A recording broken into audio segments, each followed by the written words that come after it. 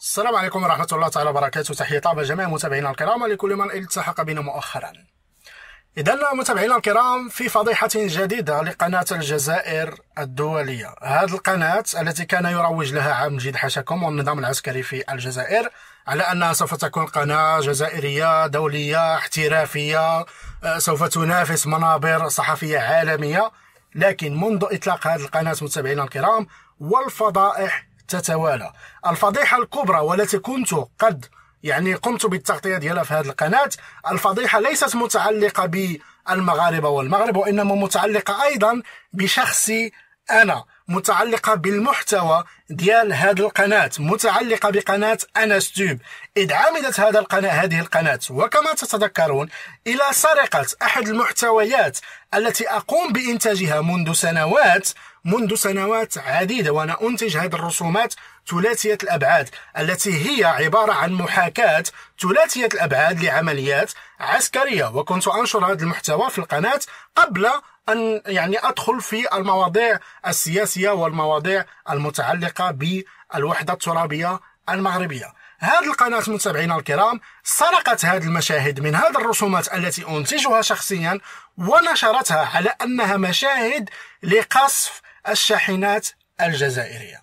مشاهد لقصف الشاحنات الجزائرية. وراكم تبعتوا معايا هذه الفضيحة وتبعتوا معايا هذه المصيبة الكحلة اللي كانوا وقعوا فيها اوقعت فيها هذه القناة اللي كتسمى قناة الجزائر الدولية. أجيو دابا الآن نشوفوا فضيحة جديدة نشوفوا مهزلة جديدة هذه القناة. قال لك يوم أمس هذه القناة دارت برنامج على ما سمتهم بمغاربة موجودين في زريبة الكبرانات وحاولت الترويج على أن هؤلاء هم مغاربة هربوا من المغرب باش يعيشوا في الجزائر. هربوا من المغرب باش يعيشوا في طوابير زريبة الكبرانات هربوا من المغرب باش يعيشوا في زريبة ما فيها لا ماء لا حليب لا سميد لا أبسط مقومات العيش. هربوا من المغرب باش يمشيو عند الهراوات والعربدة ديال عبد المجيد حاشاكم فشوفوا معايا logique كيفاش داير شوفوا معايا المنطق ديال الفقاقير. لكن الفضيحة ماشي هنا متابعينا الكرام.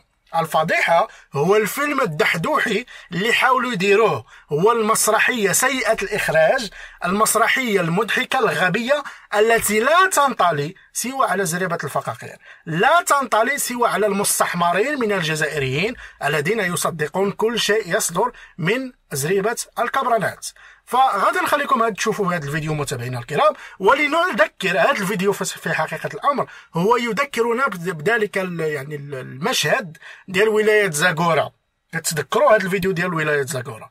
غادي نخليكم تشوفوا هذا الفيديو ونرجعوا لكم من بعد. حيث حنا تعلمنا هذا الشيء من عند الجزائريين هذا. درت قطايف بالجوز والقرفة. أنا أحمد من المغرب 42 سنة. من ولاية زاكورا من ولاية زاكورا من ولاية زاكورا من ولاية زاكورا اذا هذا الفيديو متابعينا الكرام اللي هو فيديو قديم شوية. هذه قناة جزائرية ديال الطبخ. جابت واحد جزائري باش يدعي على أنه مغربي.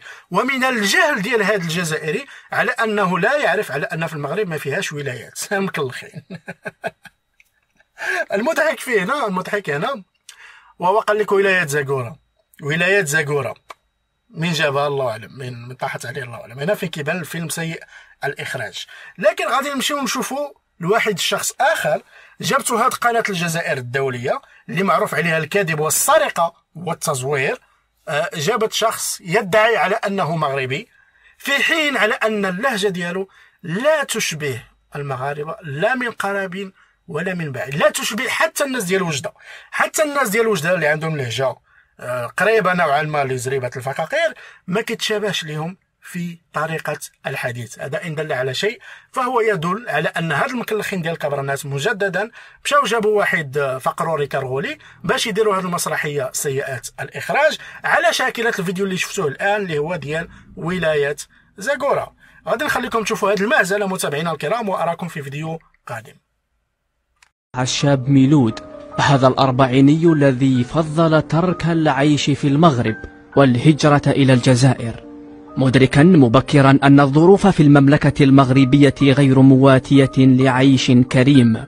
فقرر حينها المغادرة إلى أين يجد ضالته والضالة بالنسبة له الجزائر. بانت لي دخلت لهنا كان عندي واحد صحابي كان ديجا خاصة خالي كان هنايا عايش كي شغل مين جيت مع خالي ما خلانيش آه، كي شغل مزوفري. داني معاه للدار قعدت معاه في الدار. كي اللي قعدت معاه في الدار كبرت الحياة هكا وليت كي شغل كي دارنا كي اللي دارنا كي دارنا. تعاش نتلاقى مع هذا مع هذا مع هذا مع هذا. ولفت هنايا صاي ولفت. قعدت. وليت المغرب نروح لها غير من العام للعام أدرك ميلود أن الجزائر هي أرض المستقر لما وجد فيها من مؤهلات وراحة لم يجدها في المغرب فقرر حينها التأسيس لأسمى العلاقات الزواج من جزائرية. زواج تزوجت آه، 2001 آه، تزوجت بالجزائرية. واستقريت وشريت سكينة. الاولى الاولى كنت غير كاري الاولى كريت.